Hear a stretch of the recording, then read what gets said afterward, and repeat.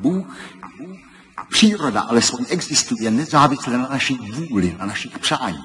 Ale Bůh se v lidech rodí, kdykoliv se bojí, kdykoliv doufají. Člověk vždy a všude nešťastný má za všech okolností důvod k obavám. Ptá se po příčině svého utrpení a doufá v konec svého strádání. A proto vytváří chiméry, jako je ten váš Bůh.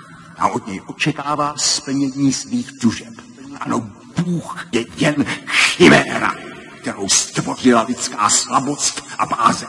Ale náboženství nás učí. Mám si představit vašeho strašlivého boha pomocí dogmat křesťanského náboženství, tak se podívejme, jak mi ho to náboženství líčí.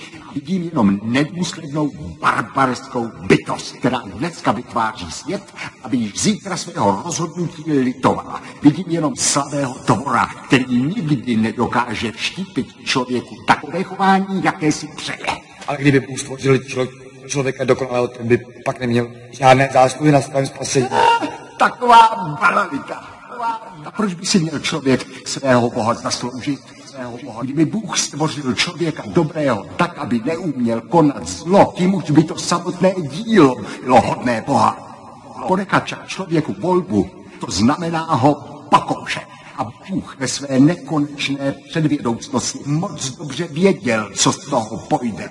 Co pro pouhé potěšení zavádět na cestní bytost, kterou záměrně stvořil nedokonalou.